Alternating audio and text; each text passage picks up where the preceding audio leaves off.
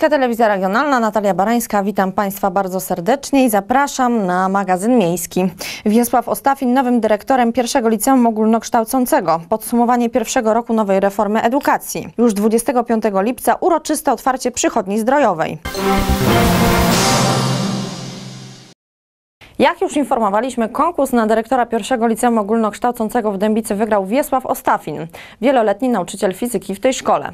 Powierzenie obowiązków nowemu dyrektorowi przez zarząd starostwa powiatowego odbędzie się prawdopodobnie od 1 września. Przypomnijmy, że konkurs ogłoszono po odwołaniu przez Zarząd Powiatu Dębickiego Leszka Klabachy z funkcji dyrektora szkoły i trwającym przez prawie dwa lata konflikcie pomiędzy nauczycielami i dyrektorem tej placówki. Po kilku miesiącach Zarząd Powiatu Dębickiego, biorąc pod uwagę przeprowadzone kontrole, opinie na temat dyrektora, stanowisko Rady Pedagogicznej, a także sposób zarządzania pracownikami prowadzący do ciągłych konfliktów, podjął decyzję o odwołaniu Leszka Klabachy z funkcji dyrektora pierwszego liceum w Dębicy. Nowym dyrektorem placówki został wybrany dotychczasowy nauczyciel fizyki w tej szkole Wiesław Ostafin. Jednak ta decyzja także wzbudza liczne komentarze. Jak dowiedzieli się nieoficjalnie dziennikarze polskiej telewizji regionalnej PTVR, nowy dyrektor wygrał konkurs różnicą tylko jednego głosu. Podobnie jak inni kandydaci podczas konkursu musiał m.in. przedstawić koncepcję rozwoju szkoły. Taką koncepcję mam. Została ona na konkursie przedstawiona. Natomiast nie powiem Pani w tej chwili, jaka to jest koncepcja, znaczy w tym sensie, co w niej jest zawarte, ponieważ byłoby to bardzo nieeleganckie w stosunku do moich nauczycieli. Oni pierwsi usłyszą o tym. Stanie się to na konferencji Rady Pedagogicznej, która będzie gdzieś tam w końcówce sierpnia, związana z przygotowaniem już do nowego roku szkolnego. A pomysł na uzdrowienie e, tej sytuacji, no grono pedagogiczne było skonfliktowane za poprzedniego dyrektora?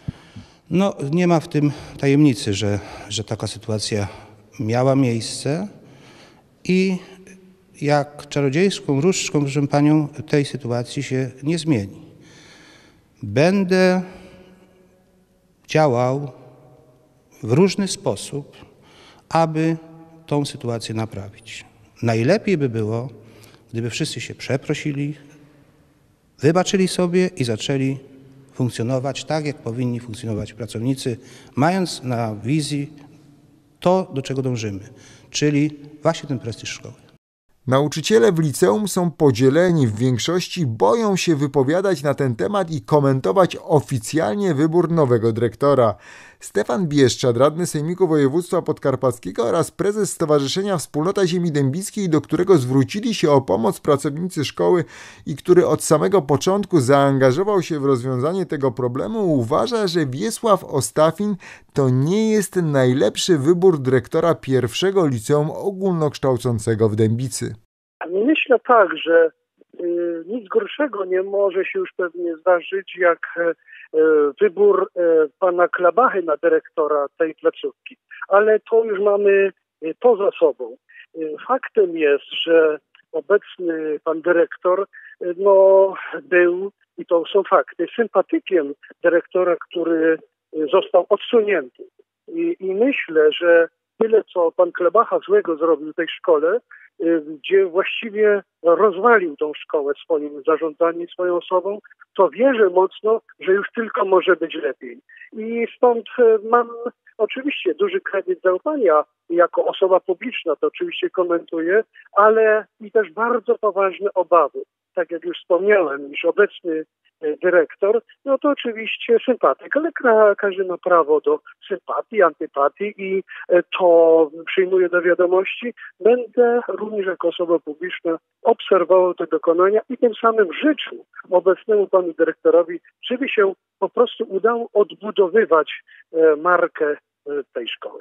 Kolei Michał Maziarka, przewodniczący Komisji Oświaty Rady Powiatu Dębickiego, który uczestniczył w pracach komisji konkursowej, podkreślał, że przed nowym dyrektorem wiele trudnych wyzwań, jak skonsolidowanie podzielonego grona pedagogicznego oraz poprawa wizerunku szkoły, który w ostatnim czasie został mocno nadszarpnięty. Było trzech kandydatów. E, Tak jak powiedziałem, no jedna z kandydatek nie mogła być dopuszczona do, tych, do tej merytorycznej oceny. Natomiast no, liczba głosów jest liczbą głosów. E, Padały rządy nawet, które jednym głosem padały, w związku z czym no, ta matematyka musi być również uwzględniana przy okazji wyborów e, dyrektora. Dlatego nie wydaje mi się, ażeby trzeba było rozpisywać nowy konkurs albo uznawać, że to rozstrzygnięcie nie daje wystarczająco silnego mandatu dyrektorowi szkoły do sprawowania funkcji. Mam nadzieję, że e, grono nauczycielskie, Rada Rodziców, uczniowie szkoły dadzą szansę nowemu dyrektorowi e, na prowadzenie tej szkoły. Natomiast my oczywiście bacznie będziemy się również przyglądać tym poczynianiom. Siłą rzeczy pierwsze liceum musi być pewnym oczkiem wokół również Komisji Oświaty, organu prowadzącego tę, tą szkołę, no a żeby no, nie powtarzały się te sytuacje, które miały miejsce w ostatnim czasie. O komentarz w tej sprawie poprosiliśmy także Piotra Chęćka, radnego powiatu dębickiego reprezentującego Prawo i Sprawiedliwość. Trudno jest oceniać dzisiaj ten wybór, e, nie dając jakby szansy na to, żeby zobaczyć, e, jaki będzie mm, jakby odbiór e, pana dyrektora w szkole. Wydaje mi się, że ta zmiana na pewno będzie czymś nowym i pozytywnym. Wszyscy czekamy na to, żeby w liceum zaczęło się dziać dobrze. Wyniki matur, w sensie nie ich zdawalności, tylko punktów utrzymanych przez uczniów nie są zbyt zadowalające, nie napawają optymizmem. No i bardzo dużo pracy przed dyrektorem. Myślę, że będzie na pewno jakieś spotkanie. Chciałbym, żeby Komisja Oświaty mm, się spotkała z panem dyrektorem, żebyśmy się dowiedzieli, jakie ma plany, żeby się spotkać też z gronem pedagogicznym, dowiedzieć się, y, y, jaki jest, y, jaka jest propozycja od pana dyrektora współpracy, jaka jest propozycja mm, zasypania tych wielkich obszarów, podziałów, które na pewno w tym liceum się wytworzyły. No zobaczymy, trudne zadanie. Życzę panu dyrektorowi powodzenia, natomiast uważam, że jest to bardzo skomplikowana sprawa. Zatem po dwóch latach konfliktu trwającego w szkole najstarsze w Dębicy liceum ma nowego dyrektora. Oficjalnie dopiero jak zarząd powiatu dębickiego przekaże mu pełnienie obowiązków, ale to już jest w zasadzie tylko formalność. Funkcję wicedyrektora szkoły będzie nadal pełniła Ludmiła Stelmach-Kołodziej, która była także wicedyrektorem, kiedy placówką rządził Leszek Klabacha.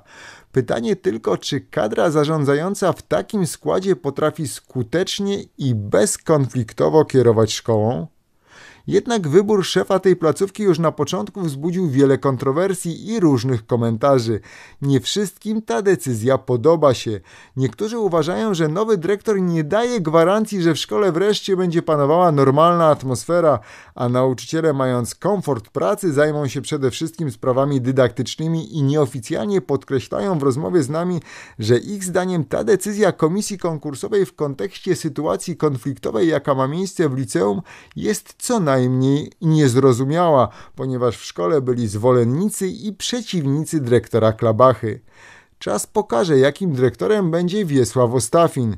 Czy był to słuszny i merytoryczny wybór.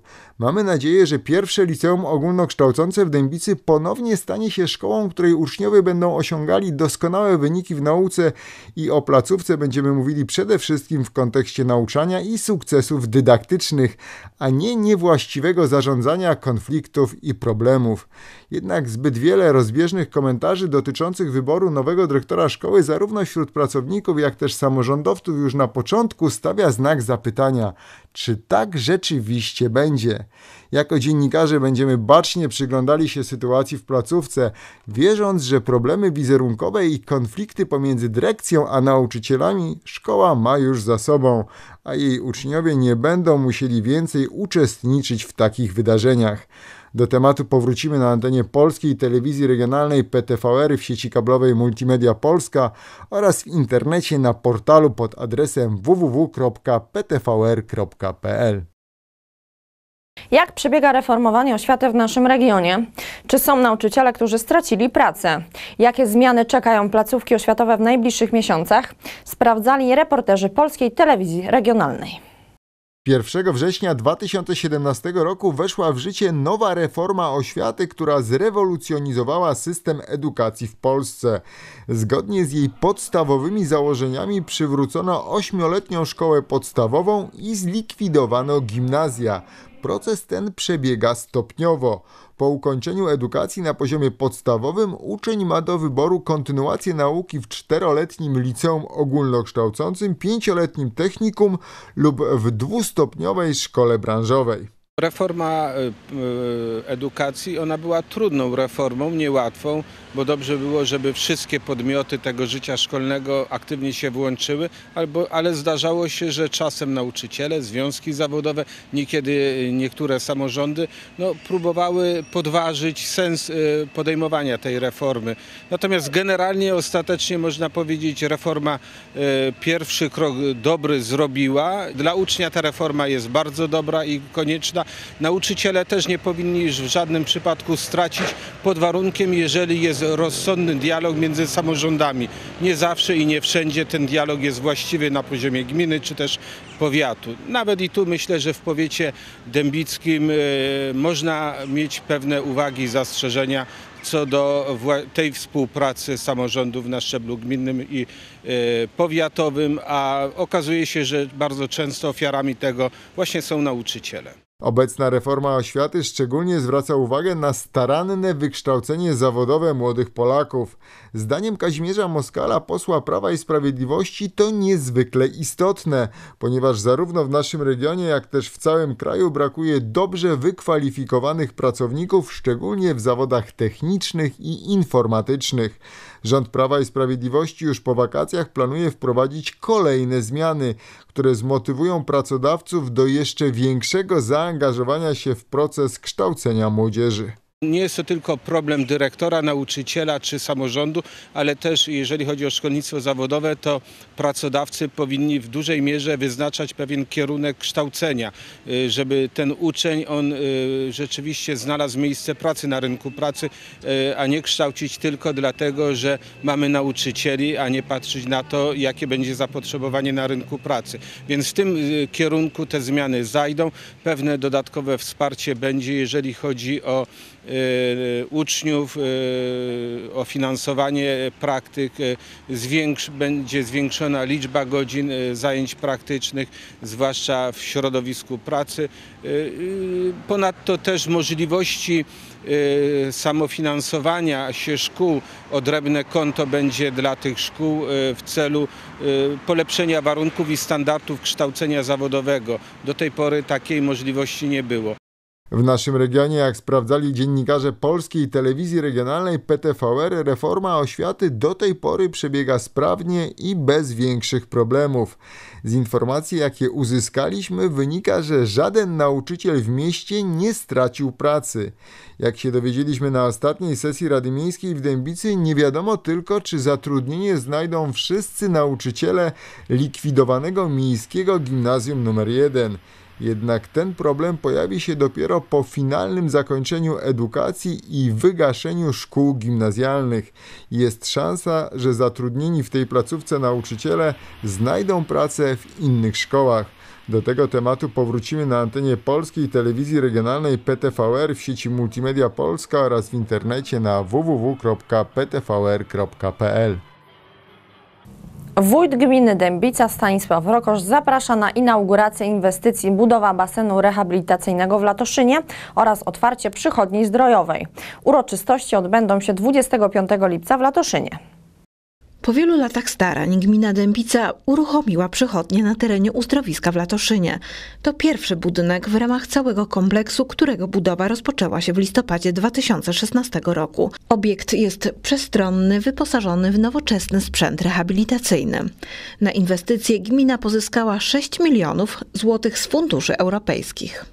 Między innymi właśnie będzie budowa i basenu, jak i również pozostałej infrastruktury, czyli ścieżki ruchowe, e, amfiteatr, e, pijalnia wód, ale zawsze kończę wód zdrojowych.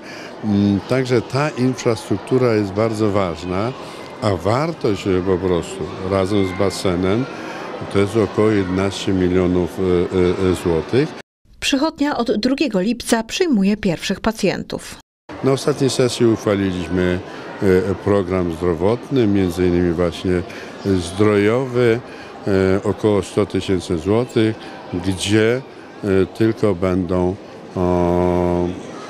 korzystać mieszkańcy gminy Dębica, ale to będzie bodziec po prostu i dla innych samorządów, że mogą sobie uchwalić i też pozostali mieszkańcy mogliby, mieszkańcy e, pozostałych stolic mogliby mm, e, korzystać. Uroczyste otwarcie przychodni z udziałem władz samorządowych gminy, powiatu i województwa odbędzie się 25 lipca o godzinie 10. To wszystkie informacje w dzisiejszym serwisie. Ja jeszcze w roli pogodynki w tym studio nie występowałam, ale życzę Państwu dużo słońca i dużo ciepła. Do zobaczenia.